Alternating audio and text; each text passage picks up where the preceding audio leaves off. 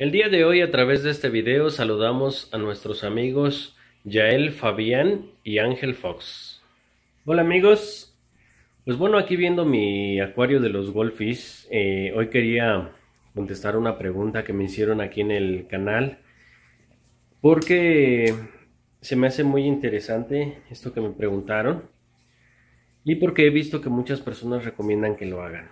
Hay personas que dicen que tú puedes colocar uno de estos peces, un goldfish o también conocido como el pez japonés, en un acuario eh, que se acaba de instalar, un acuario nuevo, para que este acuario se madure más rápido.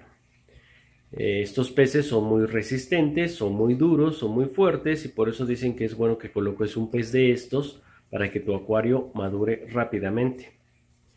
¿Ustedes qué dicen eh, al respecto de ese tema?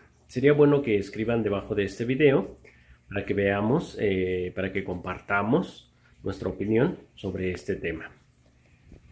Por lo pronto yo les puedo decir que eh, es de muy mal gusto, no es una buena idea que coloquemos uno de estos peces para que maduremos un acuario. Sí, sí, estos peces lo resisten, pero también sufren, ya que eh, en un acuario que tú acabas de colocar, el agua se empieza a descomponer, se empieza a, producir muchos niveles de amoníaco y eso va a provocar quemaduras en los peces. Los peces se llenan de manchas negras porque se están quemando gracias a todo ese amoníaco. Pero ¿por qué se debe de madurar un acuario? Un acuario se debe de madurar precisamente porque el agua que tú colocas por primera vez en el acuario pues está limpia. Esa agua no tiene ninguna bacteria que sea benéfica para los peces. Entonces eh, tú colocas al pez, esa agua se empieza a descomponer por la popó, por la suciedad del pez, se empieza a descomponer y empieza a producir sustancias que hacen daño a los peces, como yo te decía, eh, amoníaco es una de ellas. Conforme va pasando el tiempo, en ese acuario se empiezan a producir un cierto tipo de bacterias. Estas bacterias se conocen como nitrificantes. Esas bacterias después nos van a ayudar a que bajen los niveles de amoníaco y el agua ahora sí sea adecuada para los peces. O sea, formas un ciclo biológico dentro de tu acuario. Para eso mucha gente recomienda que pongas tú uno de estos pececitos para que ese, ese ciclo de maduración del acuario, esas bacterias se creen rápidamente. Pero como te repito, no es una buena idea porque el pez va a sufrir. Y además, quién sabe si tú vas a querer tener uno de esos peces en tu acuario. ¿Qué tendrías que hacer después? Quizás nada más lo usaste para madurar el acuario, ya después que lo sacas y lo tiras, lo matas. O sea, esa sería una pregunta, porque a lo mejor tú estás haciendo el acuario para otro tipo de peces, no para uno de estos peces que son goldfish o conocidos también como peces japoneses. La forma correcta de madurar un acuario, pues ya muchos lo sabemos. Colocas tu acuario, colocas todos los adornos, la piedra, el agua, el filtro, como ahí lo vemos, el filtro está trabajando ahí, colocas el filtro, lo pones a trabajar. Y puedes colocar un poco de alimento para peces, eso sí, empiezas a colocar alimento para peces durante ese tiempo que se está madurando el acuario, que más o menos estamos hablando de un mes, cuatro semanas aproximadamente, colocas de repente pedacitos de alimento para que ese alimento se descomponga y empiece a generar las bacterias que son benéficas para los peces. Después esas bacterias se van a alojar, van a vivir esas bacterias dentro de la grava de fondo y van a vivir dentro del filtro. En el filtro hay un compartimento que se llama el filtro biológico. Precisamente por eso yo tengo ahorita ahí esos tubitos que son tubitos de cerámica. Esos tubitos de cerámica no van eh, ahí eh, donde están puestos.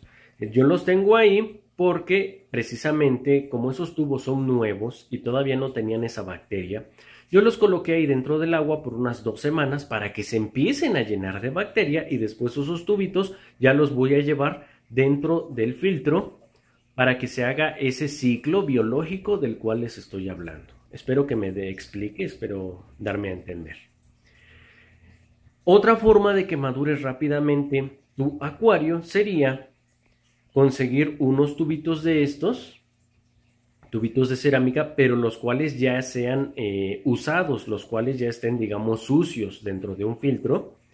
Tú los puedes sacar de otro filtro, eh, a lo mejor de un acuario de un amigo. Tú le dices, oye, regálame unos 3, 4 tubitos de estos.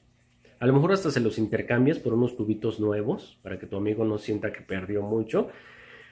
Pero con esos tubitos sucios, tú vas a colocarlos dentro de esta bolsita con tus tubos que son nuevos y lo vas a llevar al filtro. De esa forma ya vas a tener esas bacterias rápidamente en tu acuario y lo pones a trabajar. Pero bueno, eh, si le vas a pedir esos tubitos a tu amigo, tráete los tubitos dentro de un vasito con agua, agua del mismo acuario, para que no se vayan a secar y no se mueran las bacterias. Y así vas a lograr que se madure rápidamente tu acuario. Aún así, trayendo esos tubitos, eh, digamos, eh, pidiéndole a un amigo algunos tubitos de cerámica sucios del filtro, eh, los cuales ya van a tener las bacterias necesarias para nuestros peces. Aún así yo recomendaría dejar pasar unas dos o tres semanas para estar bien seguros que el agua ya, ya está bien acondicionada para los peces. Pero de ninguna manera estoy de acuerdo en que usemos este tipo de peces, el goldfish, el pez japonés, por el hecho de que son muy resistentes. No estoy de acuerdo que los usemos para madurar un acuario. Eso no se me, no se me hace bueno porque como les digo, el pez pues va a sufrir. ¿Y después qué vas a hacer con el pez? Porque a lo mejor, te repito, tú no quieres este tipo de pez, porque a lo mejor tu acuario tú lo estás preparando para otros peces. Entonces me gustaría mucho que dejen sus comentarios abajo de este video acerca de este tema. O, cómo han hecho ustedes para madurar sus acuarios. O qué han visto ustedes, porque a lo mejor eh, todos alguna vez iniciamos en este hobby de la acuariofilia y alguna vez nos pasó esto, eh, llenamos nuestro acuario, le pusimos al, el mismo día que lo llenamos los peces y, y, qué resultados tuvimos con eso.